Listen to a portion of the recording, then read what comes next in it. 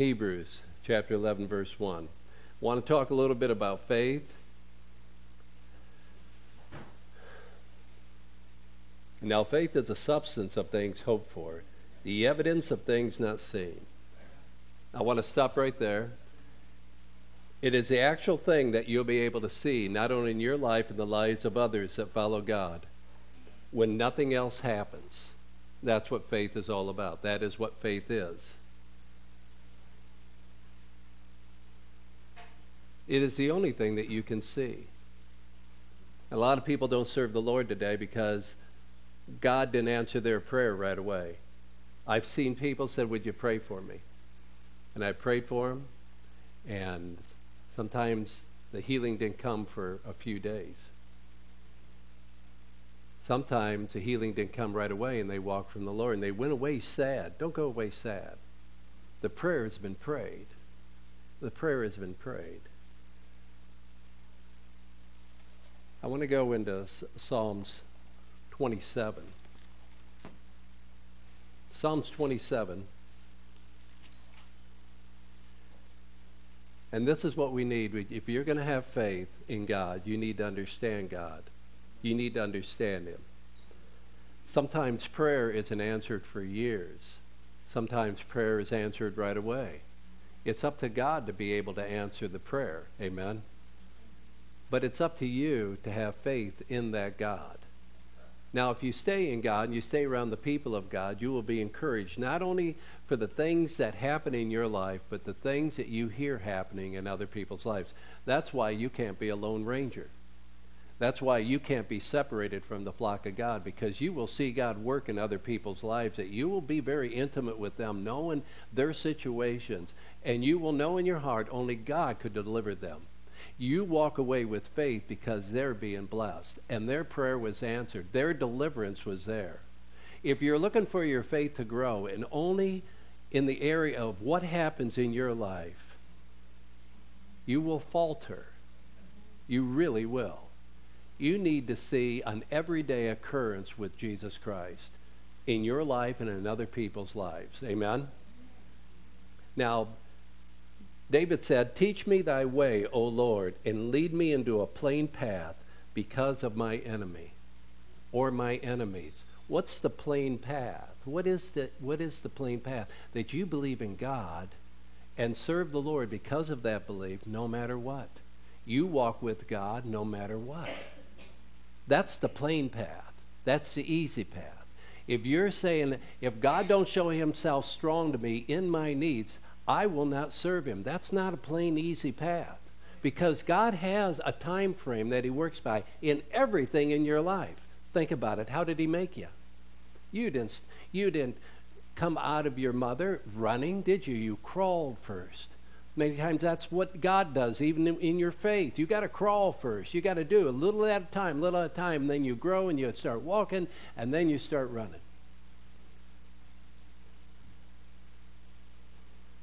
Teach me thy way, O Lord, because of my enemies. Deliver me not over to the will of my enemy. Satan wants you to falter. He really does want to drag your soul down. He really does. And he's working overtime. If you can just look at what's going on in different people's lives that don't serve the Lord or in different congregations where they've given in to darkness, I'll tell you, you can say Satan surely is alive and well. But it doesn't have to be for you. It doesn't have to be that way for me. We need not to be delivered over to our enemies. For false witnesses are rising up against us or against me. But this is, I want you to see in verse 13 I would have fainted. I would have fainted in my walk with the Lord unless I had believed to see the goodness of the Lord in the land of the living or in the church of the living. I would have fainted. Why? Because there's lifespans to everything. There's lifespans to even your prayer being answered. There's your lifespan. You're only going to live so many years and then you're going to check out. Right? There's lifespans to, to youth. You're only a youth for a, for a little while and then you become an adult. A life spanned everything. Think about the problems in your life. Some problems in your life, how they were, and you boohooed so long about them, and yet they became distant and over with. Lifespan to everything. All good things come to an end. That's what Solomon said. He was a very smart man. Why was Solomon very smart? Because he said that he was going to, he said, Lord, give me wisdom that I may serve you. Amen. Give me understanding that such a great people that I would serve you. Why was God with Solomon? Because Solomon was with God. But even then, look how he failed the Lord. He married women that were not of God. He got joined with people that were not of God. And he became just like that. He would started to build temples to devils because his wives said, I want a temple to worship my God. And God told Solomon, Don't you marry any women outside of the Jews. And yet he went to foreign women that worship other gods. And he became where he worshiped demons himself. Oh, wow. The smartest man on the earth was not the most spiritual man on earth. You say, Well, I'm not smart enough to be spiritual. Yes, you are. You are smart enough right now. You're in church. David said, I would have fainted unless I would have believed to see the goodness of the Lord in the land of the living. Now, this is the next verse. Don't ever faint. But he says, Wait on the Lord and be of good courage, and he shall strengthen thy heart. Why? So you press through and you get the victory. So you press through and get the victory in the time frame that God has it for you. See, God wants you to change. He just doesn't want you to be blessed. He wants you to be changed in the heart. And he leads you through a lot of fires. Like Shadrach, Meshach, and Abednego. He leads you through he leads you through a lot of things. He throws you into the fire and say you're going to come out a different person. Oh Lord, bless me, get me out of here. And he said, No, you got to burn for a few days. You got to burn for a few years. You got to go through pure hell, and then I'll deliver you. Because you need to change. You need to change. Each one of us need to change. And that's why we go through the trials. But what you need, though, to take you through the trial is faith. God will deliver me. And you got to see that. You got to see that happen to this person, that person, and even little things in your life. You go, golly, that was God. God says, yes, I'm on your side. And I'm on your side in the big battle, too, that's going on in your life. Watch me deliver you. Well, someday we will all die. That's right. And for those who kept faith with the Lord, they will enter into the kingdom of heaven. And there's a great prize and there's a gr- great reward for that. There is no suffering. He wipes away every tear. You say, Can you believe that? I believe it because Jesus said it. Somewhere along the line, we have to have to put our foot down and say, I, how can I believe the world and what it has to offer? Things are just going, getting worse and worse, and people are killing one another, and it's like Sodom and Gomorrah around this, this world anymore. What would you rather believe? That there is a God and that He has a reward of heaven for you, and if you follow Him and keep His commandments and keep His ways and put your hope in Him, isn't that really better than any other way? Anyone can be a scoundrel, anyone can be a person of no faith. Anyone can follow that.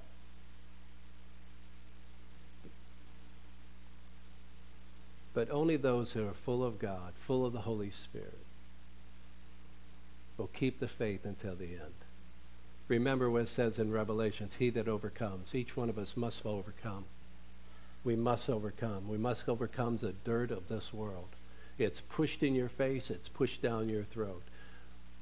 I don't care if you if you turn on the, the TV and watch the news, you're going to see all this advertisements, or you say I just watch ball games. All all the junk that's in between the ball games. It's tough. You're in this world, but you don't have to be of this world. But you got to hide yourself. You got to protect yourself. Amen. Remember Solomon. He thought he had a right to every woman, and he didn't. So David thought that too with Bathsheba, and he didn't. There's some things you don't have a right to, but you, this one thing you do have a right to is to God.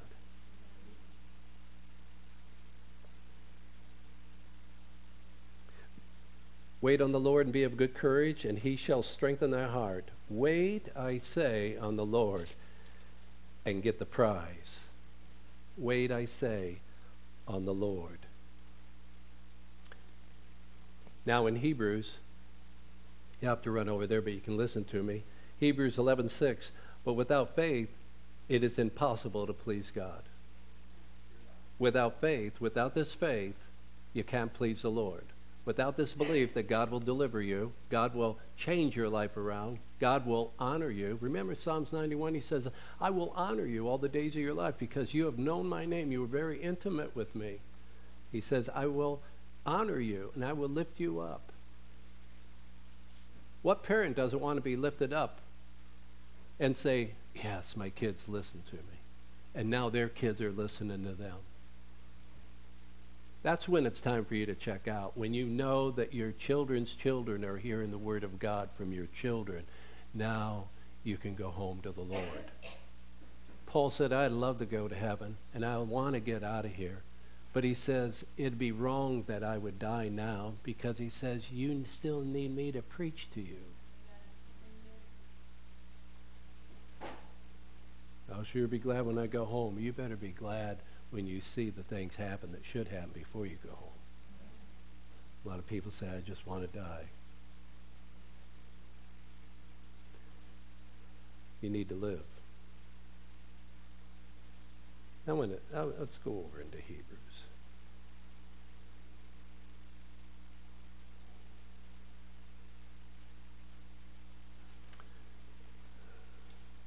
I told you not to go there, but I'm going to tell you to go there anyway.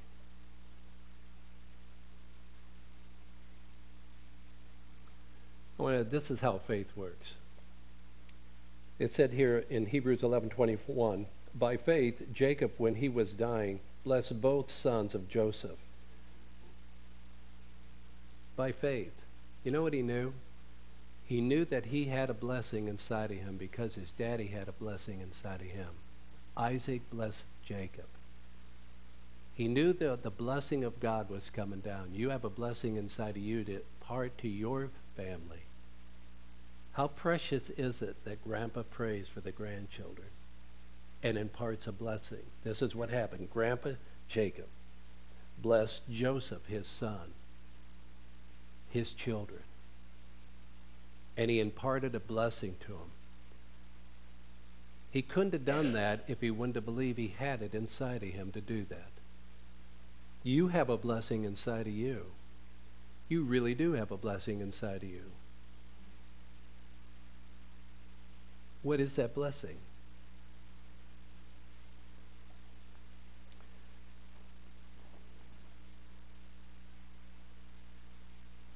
You have a family blessing inside of you that God has blessed every man, every grandpa with a blessing, every grandma with a blessing, that you can impart that to your sons and daughters.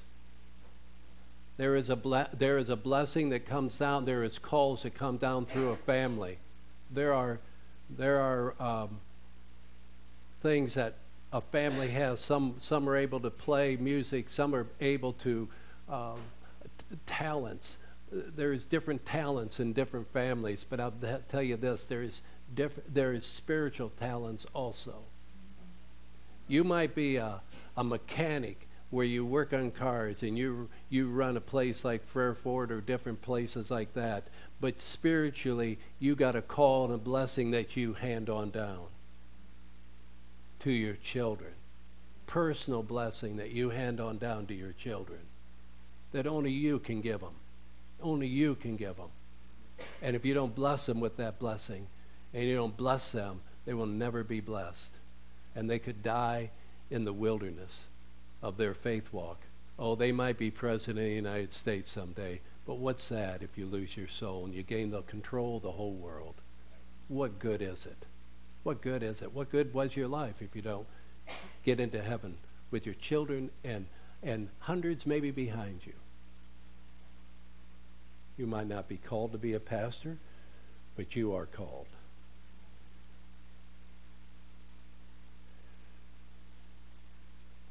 I want to go into Joshua. I want you to see something. Joshua was blessed because he served the Lord. And what did God say to him? In Joshua chapter 1, verse 2, he says, Moses, my servant, is dead. And he says, Therefore, arise and go over to the Jordan with all these people.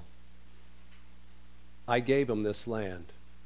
And he said, verse 3 Every place that the sole of your foot shall tread upon, that I, that I have given you, just as I told Moses.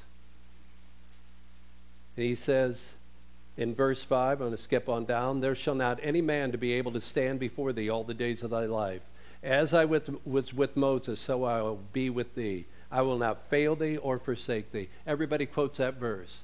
Everywhere my foot treads, God, the Lord has given to me. A lot of faith, faith preachers claim that. But the one thing that they do fail to do is the only reason Joshua had victory is because he served the Lord too. He served the Lord. He served the Lord by leading the people. He served the Lord by leading the people. You would ask yourself, how am I serving God? Do I even serve the Lord? Do I even serve Him in any capacity? Well, I pray to Him, I, I believe in Him. No, that's not serving the Lord. That's God. Actually, you want God to serve you. What, what, what part do you actually turn around and start serving the Lord? So I'm going to show you the great men of faith here really quick. And this is what he says Be strong, Joshua, and be of good courage. For unto this people shall thou divide an inheritance, my people. Remember? Solomon, why was he the smartest man? Because he said, Give me wisdom to govern your people. And God says, Because you didn't ask for wealth or me to deal with your enemies. How many have an, enemy they want God to deal with? How about an ex? You know, we call them exes. How about some of those? You know, oh God, take care of that ex. How about forgetting the ex? Amen, whatever the ex is. X marks a spot. That's a spot you want God to go for. How about if you just how about if you just forget about the X and think about God?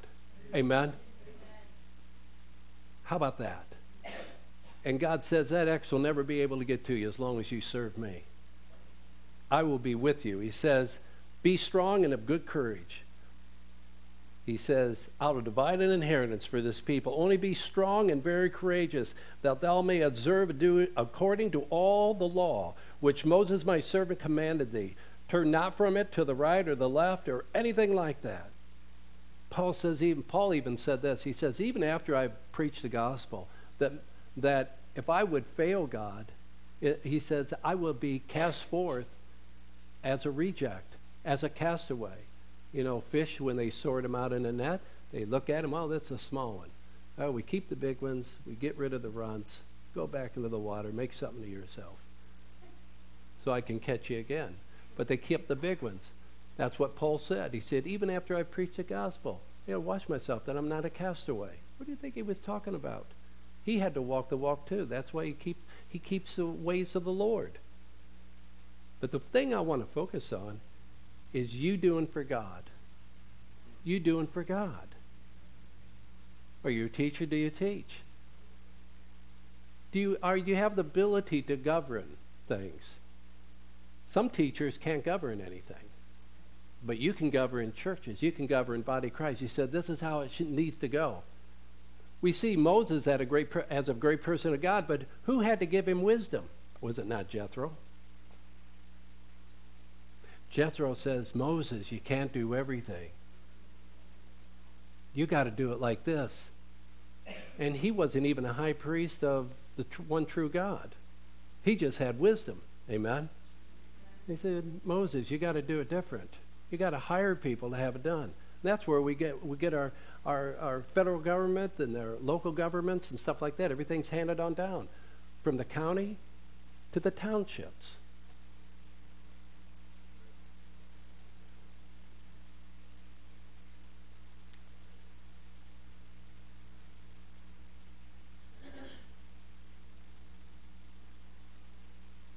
I wrote this down here this morning, and I says your walk with the Lord must be coupled with the service to God.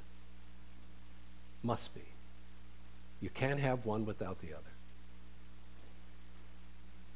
People will say this well, if you don't walk with God and you don't do this, I don't believe you were ever really saved. Say what you will, but nevertheless, the two go hand in hand. The two go hand in hand. You will not have the ear of the Lord with your prayers unless you have service to God. Think about Noah, how he saved his whole family. And what was his what was his task? Save all the animals. It wasn't to load up everybody he thought was righteous. He said, Hey, two of every kind. I'm going to destroy the earth. Get it done. So he worked for over 100 years building the boat, building the ark. And what was his, his hey, when you get tired working at the circus, think about Noah. So what do you do? Well, I shovel all day long. Noah, the animals. Joshua, God's people. King Solomon, still God's people. It's all about God's people. Jesus, was it not? I was sent here. Son of Man be lifted up. Wasn't it all about God's people? Really? Peter and the apostles, was it about God's people? Or was it about them? Was it really about them? Did they all go home? They didn't go home. They left their nets. They left their nets. You have a gift inside you. You just got to ask God. And God's probably been showing you anyway. He's probably been showing you what your talent, what your gift is. He's been putting your, it in your mind already. It isn't about receiving, it's about giving. And the receiving will come. God, if you'll just answer my prayers, you wait so long. Serve the Lord. How can I scream it in your face? Samuel was a great prophet. Oh God, make me a great prophet. He says, serve my people. That's what it was, Samuel. How about David? Serving God's people. So, in uh, chapter 25 of Matthew, God talks about the talents. One was given five, one was given two, the other was given one. God wants us to use the talents, amen? What happened to the guy that hid his talent? You all have a talent. You all have a talent. Don't hide your talent. You want your prayers to be answered. You want God real in your life. You have a talent. Some people were born with a talent. Some people say, I don't even have a talent. I don't have anything I can do. Can you scrub the floor? I can. I can. Scrub the rug. And God says, if you'll be faithful over the little things, the earthly things, I'll make you faithful. I'll make you, I'll give you a spiritual thing to be faithful over. Because if you're faithful over little, I'll give you much to be faithful. And you, that's the kind of person you are. So I want to go into 1 Corinthians because I only got a little bit of time and you might want to mark it down. In 1 Corinthians chapter 12, this is what God says because it's in the Bible. We had it last week. Was it last week? We had a little saying, because it's in the Bible. Why do we believe what we believe? Because it's in the Bible. Now, he says here, now, uh, 12.1, now, concerning spiritual gifts, brethren, I would not have you to be ignorant, because there are spiritual gifts, that you know that, now, now there are, I'm going to go to verse 4. Now, there are different administrations of the Spirit are there are diversities of gifts, but the same Spirit. They are different of administration, but it is the same Lord. Now I want to go to verse 7. But the manifestation of the Spirit is given, and I want you to underline this, to every man to profit everybody around you. And it says to profit withal. Everyone but the manifestation of the Spirit of God is given to every man. That locks you into a service of God that it's no longer you, but it's God doing it through you. But if you do not take that talent, whatever that talent is, and everybody's different, but God will show you, and you hide that talent, God will not be pleased with you. You can talk grace all the time. You can gra- talk grace all day long to me, but you hide your talent. Jesus already told told us the outcome. He will come back and require how much interest have you gained from that talent that I gave you? You go, Lord, I hid it. He says, Take that wicked, slothful servant. Listen, we don't have to go that way. You can be a person of faith, getting your prayers answered. Amen? And be doing what little thing God has called you to do. God has, God has called me to be a pastor, but look how easy He's made it for me. He really has. I can work a full time job, and He gave me a little flock, and I can do this too. After work, I come and pray with people that want to pray. And I've done it for 30 years almost. It's possible to do it. Oh, I got a job. I know it can be done. I know it can be. For one is given by the Spirit of God the word of wisdom, a word of knowledge, of faith, and another the healings. Who knows what God would use you to do? Who knows? He takes the unlikely people that are not very smart, really, spiritually not very smart, in the natural realm not very smart, and he says, when you pray for people in this area, I'm going to hear, I'm going to hear you.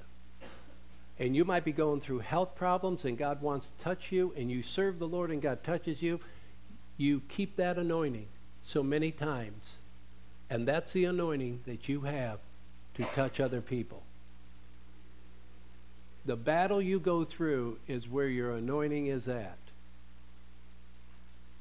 Are you frustrated? And then God comes through. Maybe you need to pray for people that are frustrated and watch the peace of God come through or God come through for them. And it goes on here. He says, For as the body is one and has many members, and all the members of one body, being many, are one body you're part of the body. To every man, he says he gives it severally. And we're just talking about spiritual gifts here. We're not talking about the other things God would have you do. The spiritual side, everybody's got a gift. That's what you need to do.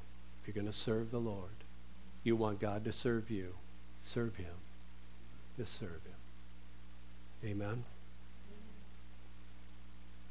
Think about it. And this is an extension here. Judas served the Lord, and he stopped serving him for what? It was a self thing. Some people quit serving the Lord because of money. His was 30 pieces of silver. Sell him out. Rather than seeing the bigger picture, he sold him out. Satan was the most beautiful angel, and he had an ability was next to God. And he left all that for self. He left all that for self. And he beheld the, the, the beauty that God gave him, and he says, I will take your place. Wow. Satan still floods us with that same deception today. I'll do what I want. This is what I think. Is that what the word says?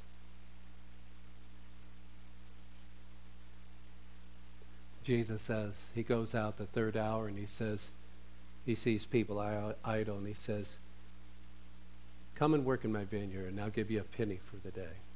So they go and they work in the vineyard. He goes out the sixth hour and he, and he does the same thing the ninth hour. And then he says, he goes to the 11th hour, and I believe this is where we're at in this country. I believe in this world, in time. I believe this is where we're at. And, and Jesus says, the good man of the vineyard says, at the 11th hour, he sees some people that are standing idle, and he says, this is what he says to them Why are you standing idle? That was his question to them. Why are you standing idle? And you know what they said? No one would hire us. And he says, I'll hire you. So at the 11th hour, they went. They only worked for an hour. Bam. It was 12. It was over. The day was over at the 11th hour or 6 at night. And you know what? He says, Your reward is the same as those that have always served me. Come into heaven. Why are you standing idle? That was his question.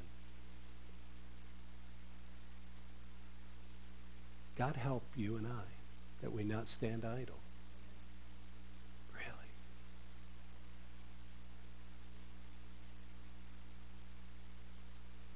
Really.